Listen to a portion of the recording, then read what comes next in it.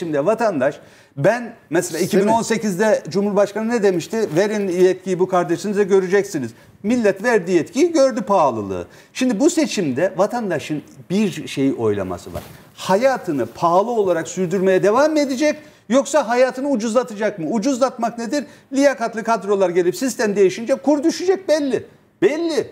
Naci Abal'da yaşandı bu. Sadece bir kişi de yaşandı belli. Bu, bu, bu kadar Türkiye dünyanın Bana göre ben gelmiyor. daha senden bir adım ötesini söyleyeyim.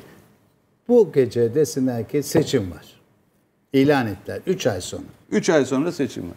Kur ne kadar şimdi? 8.90 mı? 8.95, 94 oralarda Kur oynuyor. değil mi? 8'e doğru iner. Hemen. Seçim lafı çıksın ağızlarından. Hani der, diyorlar ya bu ortamda seçim mi olur? Bu kadar pahalılık var. Milletin derdi geçim falan hani karşı çıkıyorlar ya. İner diyorsunuz. Hemen iner. Hemen. Hemen iner. Var ya seçim Yani lafı yavaş yavaş sesi inmeye başlar. İk- Türkiye'de iktidar değişimi ve siyasetin Niye değişimi. peki? Çünkü şeyi mi alıyor? Çünkü Ee, şundan. Güveni, istikrarı, normalleşmeyi mi? Hayır bu Ya gideceğini şöyle söyleyeyim. Ya, ya şu anda öyle kadrolar var ki mahalle bakkalı işletmeyeceğin kişiye kamu kurumlarını vermişsin. Mahalle bakkalı emanet etmezsin. Şimdi bunun yerine o kurumları liyakatlı kadroların yönettiğini düşün. Bir örnek verdim sadece Naci Hayır, piyasaların algısı ne olur Piyasa demek onun için işte onun- o kadrolar yani Türkiye'ye liyakatın tekrar geleceğini görmesi, m- mülkiyet güvencesinin işte mal çökmeler falan kamuoyuna yansıdı. Milletin malına çökülmeleri. Piyasa herkes Tayyip Erdoğan'ın gideceğini gördüğü için iner. Yani şimdi Niye iner? Grafiklerde var. Emsallerine göre artık açılmıştı. seçim olsa şöyle bir şey vardı. İşte Erdoğan kaybetmez. Erdoğan mutlaka her seçimi alır diye. Son anketlerde Erdoğan giden gidecek diyenlerin oranı %64'e çıkmış. Yani bir seçim olsa, yarın seçim olsa Erdoğan gider mi gitmez mi? Eskiden şöyle diyordu. Yok Erdoğan gitmez. Yerine kimse gelmez. Alternatif. Şimdi Erdoğan gidecek, ilk seçimde gidecek diyenlerin 64. Şimdi piyasalarda Erdoğan giderse ne olur? Bir, tek adam yönetim biter. İki, Merkez Bankası gerçekten Merkez Bankası olmaya başlar. Üç, kurumlara liyakat geliyor. Biraz önce İbrahim dediği gibi liyakatli insanlar Evet. belli bir yerlere gelir.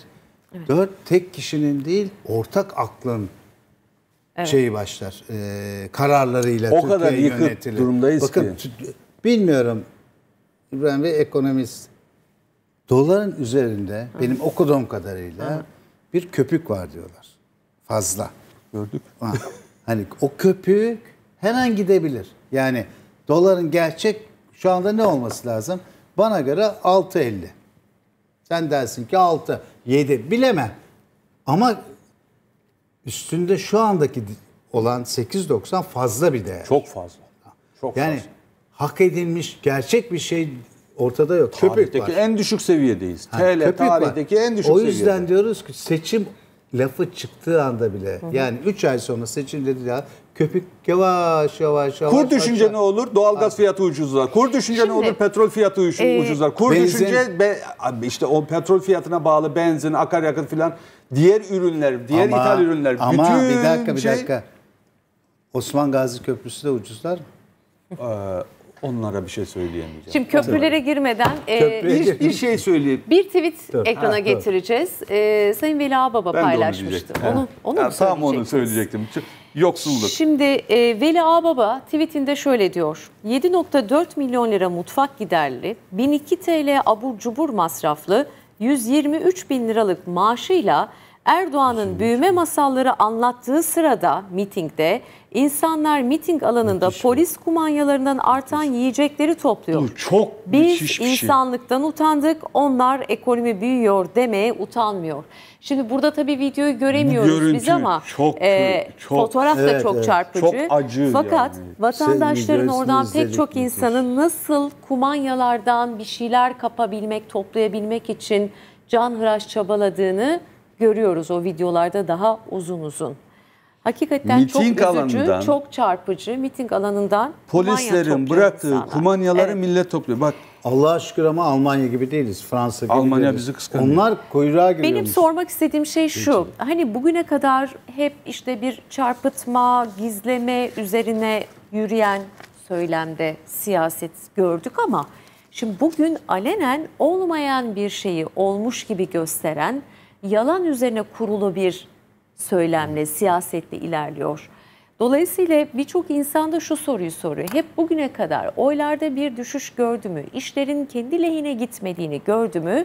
Cumhurbaşkanı Erdoğan hemen bir yeni oyun planı kurar, bunu sahaya sürer, eline yeni bir kart alır, koz alır, kullanır ve durumu toparlar.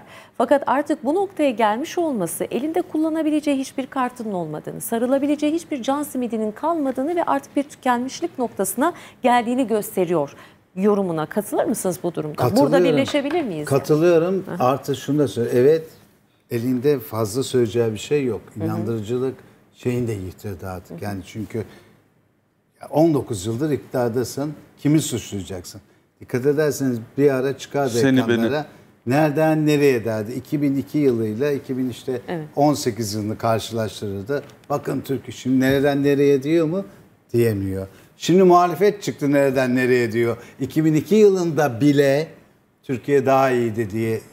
Yani o büyük 2001 krizinden sonra bile Türkiye şu andaki durumdan daha iyiydi.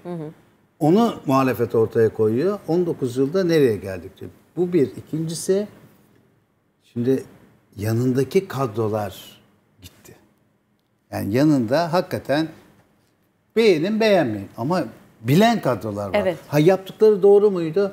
Eleştirirsin. Değildi. Ya, Ama inan, inanıyordunuz mesela. Bunun ya bu işi biliyor. iyi niyetli uğraşıyor. Uğraşıyor ama bana göre yanlış. Mesela İbrahim Bey'e göre ve doğru size göre şey İyi şey iyi veya kötü. İnsan- eleştirirsiniz dediğiniz gibi. Şimdi öyle bir kadro yok. ki. Her şey bir tek kişi. E, yanındakine bakıyorsun. yan- Yanındaki ekibi dökülüyor. Yani bir tane doğru düzgün sözüne güvendiğiniz bir kişi söyleyin ya. Var mı? Eskiden vardı. Bir, bir bakanlar kurulu vardı. Hakikaten insanlar çıkardı. Ali Babacan onu güzel formüle etti. Eskiden diyor? dedi, eskiden de dedi partide bir icraatçılar vardı, bir de dedi slogancılar vardı. Partiden dedi icraatçılar gitti, Gitti. dedi, Şimdi geride slogancılar kaldı dedi. geride sadece slogancılar. Bak Türk İş diyor ki, Türk İş Eylül ayı itibariyle 4 kişinin açlık sınırı, 4 kişilik bir ailenin açlık sınırı 3049 lira. Asgari ücret ne kadar? 2825. İlk a- 3049 liradan az maaş alıyorsan 4 kişilik bir aileye giren para 3049 liradan azsa yoksul değil. Açsın, aç. Öyle. Kaç kişi asgari ücret alıyor? 14 milyon. Evet.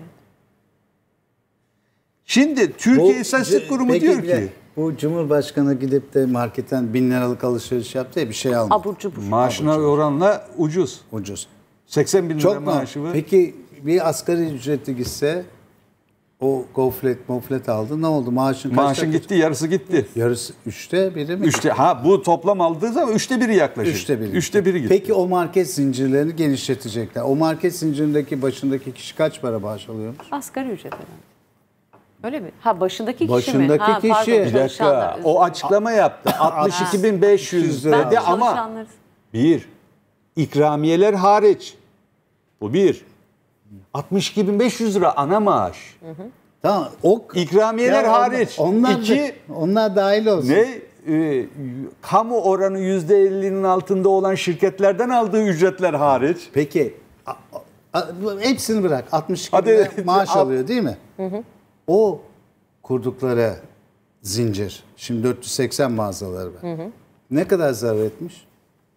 58 milyon lira 3 yılda. O gözüken, gözüken daha Gözüken durur. tabii. daha- Bir yılda da 12 milyon lira. Şimdi kurdukları düzenin her yerde böyle olduğu zaman iş patlıyor zaten. Şimdi Adana'ya gidiyor, konuşuyor Cumhurbaşkanı. Biz şunu yaptık, fabrika açık. Toplamış oraya bakıyorum. Hakikaten her partinin militanları vardır. Oradan rantlar vardır, nemalananlar vardır. Kadını, erkeği, gence bir salon toplarsın, bağırırsın, çağırırsın. Tamam o süper falan diye. E şimdi sokağa çıktığın zaman Adana'da acaba insanlar aynı şey mi düşünüyor? Valla Almanya, Fransa Yani düşünsün. Şimdi bir şey var. Bakın böyle ot- otok, otokrasilerde diyelim böyle liderlerde çevresi, danışmanları o militanları toplar. Kadın, erkek, genci, yaşlısı böyle bölümleri oturtur. Onlar sürekli tezahürat yaparlar. Dikkat ederseniz Cumhurbaşkanı kimse dinlemiyor. Ben iyi, izledim